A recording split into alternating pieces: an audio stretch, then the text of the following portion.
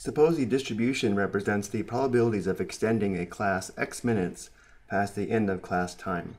Looking at the distribution, notice how the probability density function is a horizontal line, which indicates we have a uniform distribution. The minimum value of x is 0 on the left, and the maximum value of x is 8 on the right.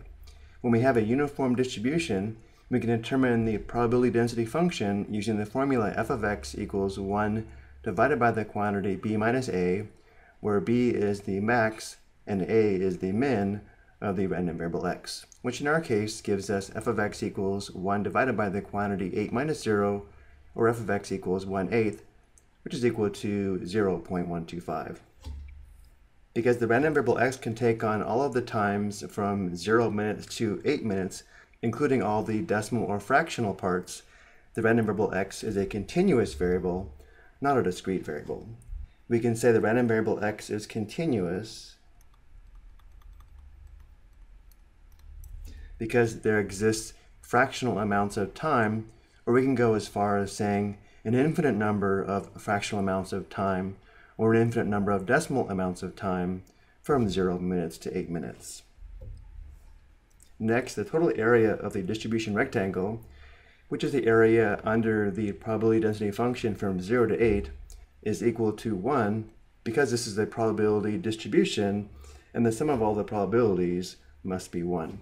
Or we can actually take the time to find the area by determining the area of the rectangle by multiplying the base times the height.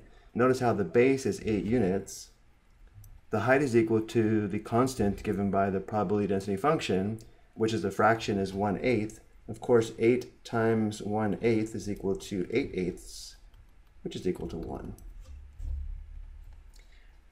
Next, the probability in decimal form of the class extending two or more minutes beyond the end time is what?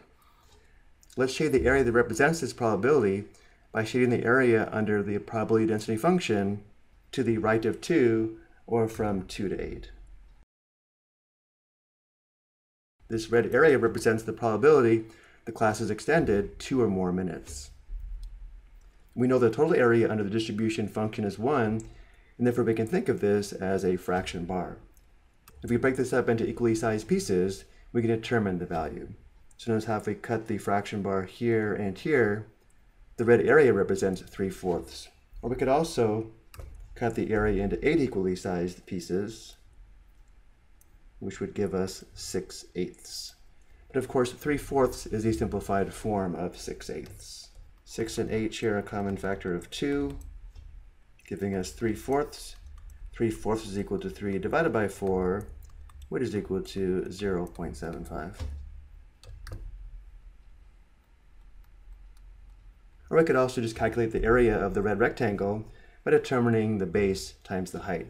And let's also show that we'll notice how the base of the red rectangle here would be 8 minus 2 or 6. And of course the height again is equal to 1 eighth. So 6 over 1 times 1 eighth of course gives us 6 eighths which is equal to 3 fourths. For the last statement, we want the probability in decimal form of the class extending 2 or less minutes beyond the end time. But we should be able to recognize this probability is going to be equal to 1 minus the probability of the class extending 2 or more minutes, which we found in the previous problem. And 1 minus 0.75 is equal to 0.25. Let's also shade the area that represents this probability. We would shade the area to the left of 2, or between 0 and 2, which is this area here. And again, breaking this up into equally sized parts or pieces, we can see the red area is equal to 1 fourth. And 1 fourth is equal to 1 divided by 4, which does give us 0.25. Or of course, we could also break it up into 8 equally sized pieces, which would give us 2 eighths, but 2 eighths is equal to 1 fourth. Or we could also determine the area by determining the area of the rectangle. Notice for this rectangle, the base is 2, the height is still 1 8th. 2 or 2 over 1 times 1 8th is equal to 2 eighths, which is 1 fourth. I hope you found this helpful.